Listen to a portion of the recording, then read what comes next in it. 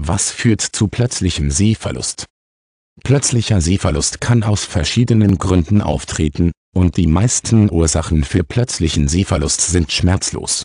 Dazu gehören Schlaganfall, Gehirntumore, Verletzungen des Gehirns, Netzhautablösung und feuchte Makuladegeneration. Gerinnsel und venöse Verstopfungen im Auge können ebenfalls zum plötzlichen Verlust der Sehkraft beitragen. Der retinale Venenverschluss und der retinale Arterienverschluss sind zwei Ursachen für den Verlust des Sehvermögens im Zusammenhang mit Kreislaufproblemen im Auge.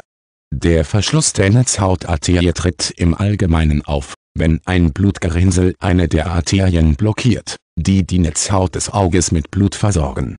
Ein dauerhafter Verlust der Sehkraft kann auftreten, wenn der Verschluss der Netzhautarterie nicht sofort behandelt wird.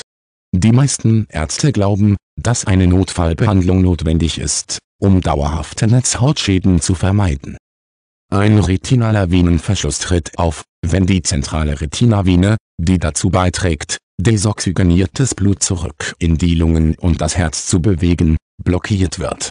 Diese Art der Okklusion hat normalerweise andere Ursachen als Embolien, und nur etwa ein Drittel der Patienten erholt sich durch Behandlung wieder.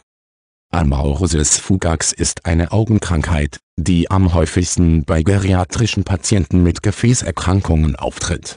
Amaurosis fugax bewirkt, dass winzige Blutgerinnsel die Blutgefäße im Auge blockieren. Diese Gerinnsel lösen sich oft von selbst auf und stellen die Sicht wieder her. Personen mit dieser Erkrankung haben jedoch ein erhöhtes Risiko für einen Schlaganfall und einen ernsthafteren Augenverschluss. Die Netzhautablösung kann einen plötzlichen Verlust der Sehkraft verursachen, obwohl der mit der Netzhautablösung verbundene Sehverlust oft über einen Zeitraum von wenigen Tagen langsam auftritt. Personen, bei denen eine traumabedingte Netzhautablösung auftritt, können einen plötzlichen Sehverlust erleiden.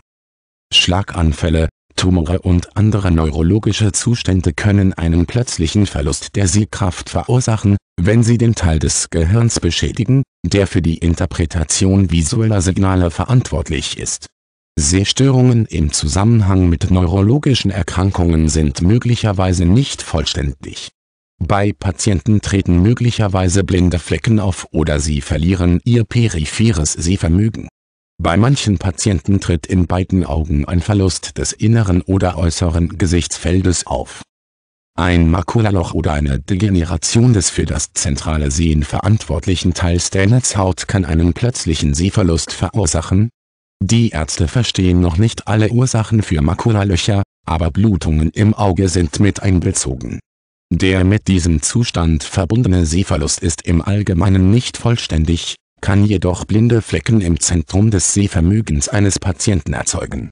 Beide Augen können betroffen sein, obwohl die Experten den Grund noch nicht verstehen. Blutungen im Auge, unabhängig davon, ob sie mit einer dauerhaften Schädigung der Augenstrukturen verbunden sind oder nicht, können einen plötzlichen Sehverlust verursachen. Bestimmte Zustände, einschließlich Netzhautrisse, Makuladegeneration oder Diabetes, können das Risiko für solche Blutungen erhöhen. Verletzungen der Hornhaut können auch einen plötzlichen Verlust der Sehkraft verursachen. Solche Verletzungen sind normalerweise schmerzhaft, und die meisten Patienten können den Verlust des Sehvermögens bereits vor einer medizinischen Behandlung mit einer Hornhautverletzung in Verbindung bringen